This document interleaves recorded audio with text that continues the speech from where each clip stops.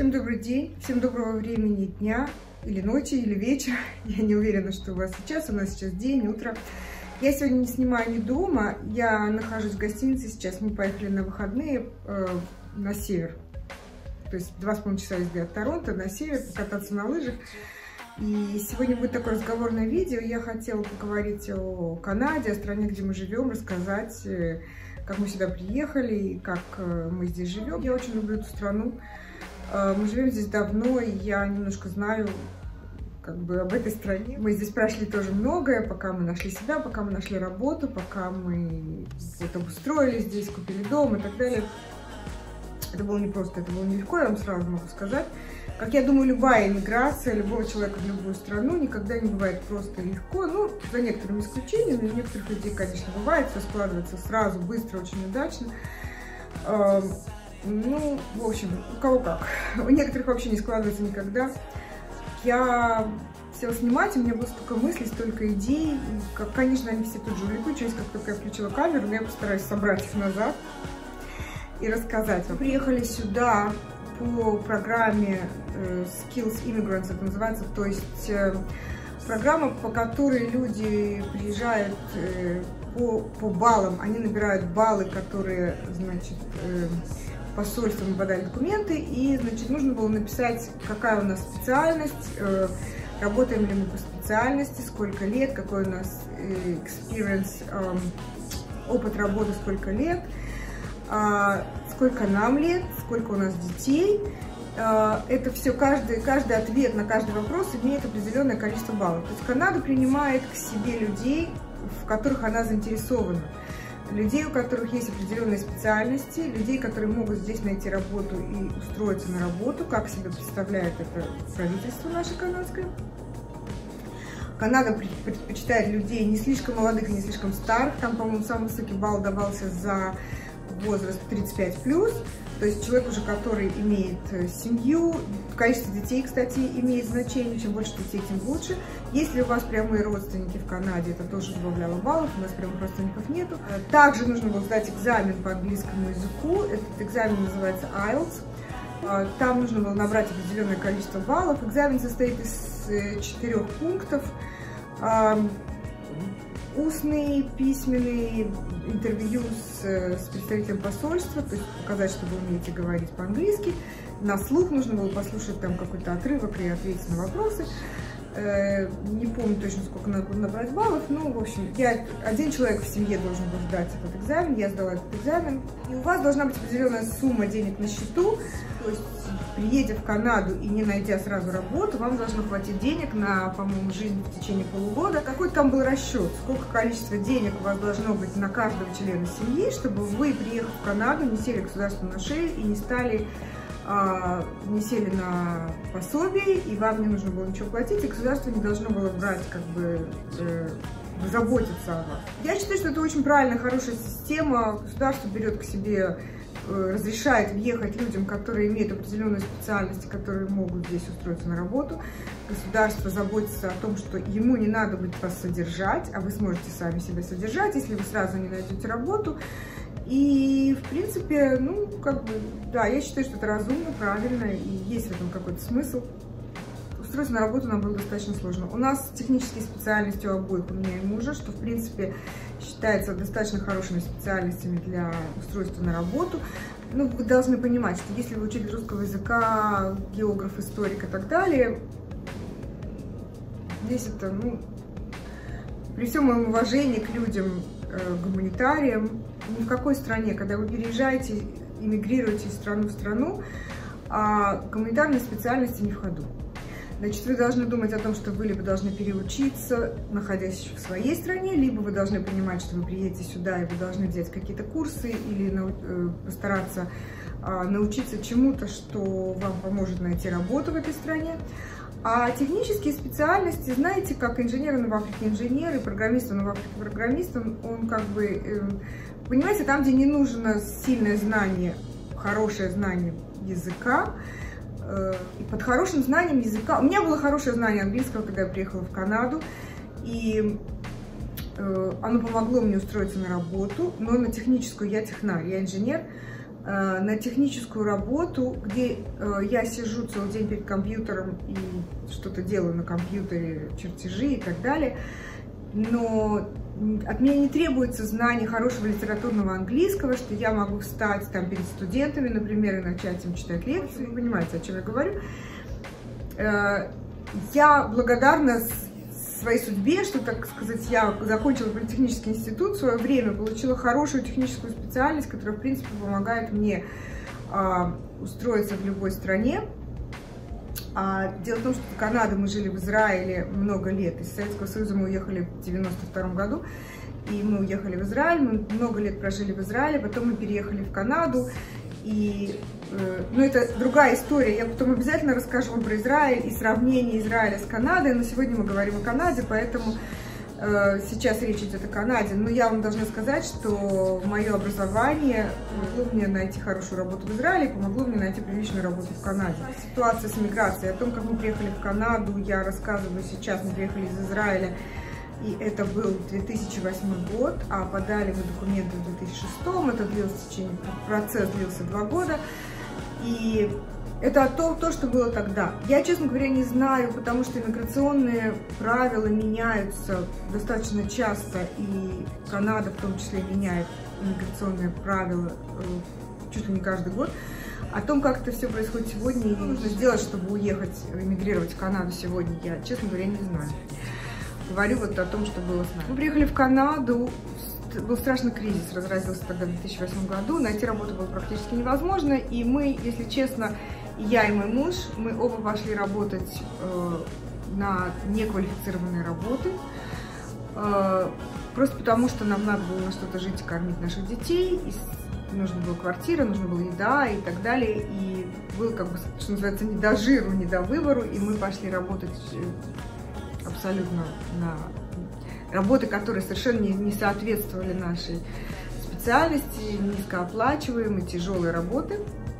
И это продолжалось, наверное, в течение года полутора-два. Мы вот так вот работали, пока э, кризис не закончился и ситуация с работой в стране немножко улучшилась. И мы тогда оба, муж немножко раньше, я позже, устроились на работу по нашей специальности, профессиональный джоб. Э, со совсем другой зарплатой, с другими условиями и так далее. Но к чему я это веду? Я хочу сказать, что когда вы переезжаете из страны в страну, вы должны понимать, что вы должны быть готовы к тому, что вы э, согласны пойти на любую, вот серьезно, абсолютно на любую работу. Вы должны снять с себя вашу корону и спрятать ее куда-нибудь подальше под кровать. И э, понять, что вас, вы здесь никому не нужны, вас здесь никто не ждет. Э, вас, вас, вам разрешили приехать сюда, вам дали возможность приехать сюда. И все. И все, и никто не, не должен о вас заботиться, и никто не должен э, думать о том, чем вы будете кормить своих детей. Это, это абсолютно ваша обязанность и ваша забота. В Канаде бесплатная медицина, то есть абсолютно бесплатная. Э, то есть вы, по крайней мере, когда вы приезжаете в Канаду, например, в отличие от Штатов, где нет бесплатной медицины, и ваша медицина связана с вашей работой, то есть если у вас нет работы, у вас либо вы платите сумасшедшие деньги за то, чтобы купить себе медицинскую страховку, либо вы не имеете ее вообще. В Канаде нет такого. В Канаде бесплатная медицина. Вы приезжаете, через три месяца вам в стране вам дают медицинскую карточку, вы можете пойти абсолютно к любому врачу, лечь в больницу, делать э, самые сложные тяжелые операции. Не дай бог, тут вот по никому. Э, тоже это отдельная тема медицина. Знаете, медицина бесплатная, и как все бесплатное, это не, не идеальная медицина, хотя, конечно, а, уровень медицины в Канаде очень хороший но здесь есть очень много недостатков, связанных с тем, что это государственная служба, медицина э, э, находится на попечении государства. Ну и, как вы понимаете, все, что государственное и как бы бесплатное, оно все, знаете, очень много бюрократии, очень много не, не очень продуманных вещей, Например, для того, чтобы попасть к врачу-специалисту, э, вы должны сначала пойти к своему семейному врачу-терапевту, и он решит, нужно ли вам идти к специалисту или нет. То есть, если он считает, что у вас с сердцем, например, или там с печенкой или так далее, все в порядке, Он не отправит вас к специалисту, и вы к нему не попадете никак. Но врачи, знаете, тоже такое дело, они могут ошибаться, и не все они все знают. Э, то есть он будет стараться пытаться лечить вас своими способами, своими методами, может быть, не очень успешно, и э, зачастую вы просто теряете свое время, пока вас лечит врач, который не специализируется на какой-то определенной болезни и очень часто, то есть часто не может ее определить и диагностировать. То есть если у вас такой врач, если вам повезло, и у вас врач, который вас при э, любого, любых симптомах, допустим, вы говорите, что у вас там здесь что-то жмет в груди и так далее, и он сразу вас отправляет к кардиологу, которому, чтобы попасть, вы должны будете ждать очереди, может быть, несколько месяцев. Если вам повезет, и вы не умрете по дороге, то вы попадете к врачу-кардиологу. А есть врачи семейные, которые считают, что они все знают, и они будут пытаться лечить вас сами, и таким образом, в общем, тоже могут вас угробить по дороге, пока дело дойдет до, до специалиста, и до больницы и так далее. В общем, очень часто люди здесь а, не доверяют своему семейному врачу, и если семейный врач не посылает их а, к специалисту, они просто идут в больницу. Они идут в больницу, они приходят и говорят, мне болит здесь, мне болит там. Больница им делает полное обследование. Они сначала сидят э, в emergency room, like, где-то примерно 5, 6, 7, 8 часов ждут, пока до них дойдет очередь. То есть это то еще удовольствие.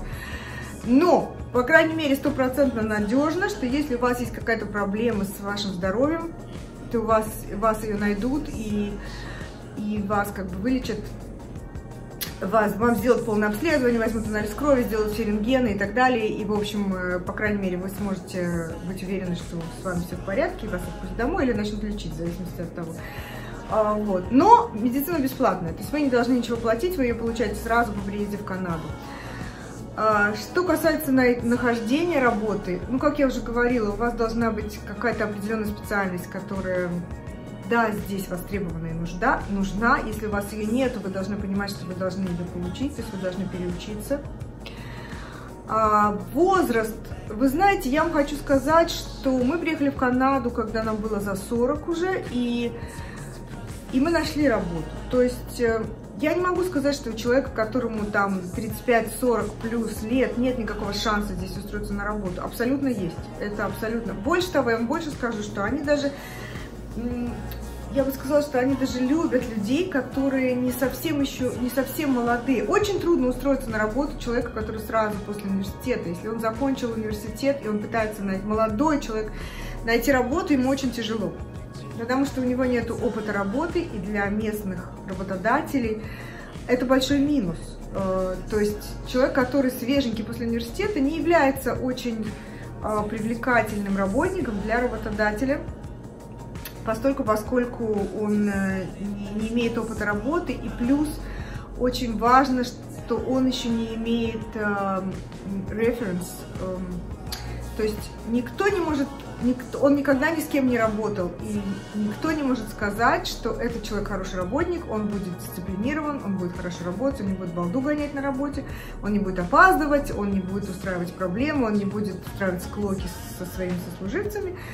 Э, вот это тоже, кстати, проблема для иммигранта, человека, который приезжает в страну, и у него никогда не было здесь работы. Его никто не знает в Канаде как работника. Ему тяжело устроиться на работу, потому что никто не может дать за него референс. Это, то есть, поручиться, что этот человек будет хорошо работать и не будет вам делать проблемы. Э, но, тем не менее, канадские работодатели берут шансы, берут на работу иммигрантов. Вот я, например, работаю в инженерном отделе большой, большой компании, автомобильной компании, промышленность, автомот, э, тяжелое машиностроение, вот так скажем, да, пытаюсь перевести на русский язык. И у нас э, в инженерном отделе очень много иммигрантов, то есть люди из Китая, люди из Восточной Европы, в общем, потому что их берут на работу, потому что у них хорошее образование, у них хороший, хорошее знание техническое э, инженерии, так сказать. У них не очень хороший английский, но это особенно никому не важно, потому что человек сидит возле компьютера и рисует чертежи, как бы никому абсолютно не, не, не нужен его перфект. То есть он должен уметь общаться со своим начальством, он должен, он должен знать английский, до такой степени, чтобы э, он понял, что от него хотят, и объяснить, что он хочет, но не более того. То есть это достаточно басистный такой английский, который, в принципе, очень многие люди знают. Мы приехали в Канаду, наши дети были маленькие, еще они абсолютно не знали английского, это было нелегко. То есть вот э, э, идея о том, что маленьких детей привести в, другую страну им легко в любой стране, это неправда, потому что они же тоже люди, они переживают, они лишились своей среды, они лишились своих друзей, они пошли в школу, где все говорят на языке, который они не знают, и для них это травма, безусловная. Но в отличие от взрослых людей, дети, получившие травму, очень быстро эту травму переживают и очень быстро ее как бы э, справляются с ней. Они очень быстро, конечно, выучили. За полгода они говорили по-английски и, и забыли все остальные языки, которые они знали до этого. И они нашли друзей, и все было нормально, но первые несколько недель, наверное, может быть, месяцев, когда мой старший сын Бен, которого вы видели, который сейчас уже на две головы выше меня, он был тогда маленьким мальчиком, ему было 7 лет, он приходил со школы и плакал в течение двух недель каждый день. Я готова была, раз, это, мое сердце было разбито, потому что как бы мы привезли их сюда, в эту страну, мы лишили их, их друзей, их среды, и теперь вот мой ребенок приходит домой каждый день и плачет и страдает. я, я как бы являюсь причиной его страданий, потому что он плачет благодаря тому, что я, моим шагам, которые я сделала, я привезла его сюда, и вот он теперь страдает. И это ужасно, вы должны быть к этому готовы, вы должны понимать, что э, вот это вот все надо будет пережить, у кого-то это берет больше времени, у кого-то меньше. Он плакал две недели, потом он перестал плакать, потом он э, просто вот как бы, ну, тихо страдал какое-то время, но он быстро э, вошел в, в эту жизнь. То есть вот отличие дети от взрослых отличаются тем, что они... И, во-первых, им не надо искать работу, им не надо думать о том, чем кормить свою семью. И на них меньше стресс, безусловно. Но э, нельзя сказать, что для детей переезд из страны в страну является абсолютно без, безболезненным, и для них это абсолютно, им это абсолютно легко. Ну, в общем, вот такое видео у меня получилось какое-то немножко сумбурное. Я понимаю, что я что-то пыталась рассказать и пыталась как-то, э, ну, сделать его интересным, чтобы вам было интересно и не скучно. Ну, по-моему, не очень получилось у меня. Ну, как получилось. И я, конечно, вернусь еще к этой теме, обязательно к теме миграции, к теме, к теме Канады, потому что эта тема очень меня а, не то чтобы волнует, но мне интересно рассказывать про страну, где я живу, поскольку я Канаду люблю очень и очень э, считаю, что я что-то могу про это рассказать. Ну, вот сейчас то, что есть. А, обязательно расскажу вам про Израиль, обязательно расскажу вам как мы переезжали, наверное, если кому-то это интересно. Но вы знаете, что я подумала? Вы мне напишите в комментариях под видео, что бы вы хотели, чтобы я рассказала, потому что я могу очень много чего рассказать, но просто у меня как-то мысли путаются. Я хочу еще сделать такое видео, что мне не нравится в Канаде. То, что мне нравится в Канаде или не нравится в Канаде, потому что есть вещи, которые мне не нравятся в Канаде, и их не так мало, ну, как любая страна. Канада такая же страна, где есть свои минусы, свои плюсы. Здесь есть очень много хорошего, не очень много плохого, но есть. И я обязательно сделаю отдельное видео, потому что оно уже такое длинное у меня получилось, что, по-моему, уже, я не знаю, если кто-то вообще досмотрит до этого момента. Если вы досмотрите до этого момента, то написать, обязательно напишите мне в комментариях, что вы хотели, чтобы я вам рассказала. Потому что мне будет так легче Э, как бы определенно искать темы и рассказывать какие-то вещи, которые, да, вам интересны, а, а не просто какое-то вот это бла мое, которое, может быть, не, и никому не, не интересно совсем. Я вам желаю всего самого наилучшего. Всего доброго. Увидимся в следующем видео. Пока-пока.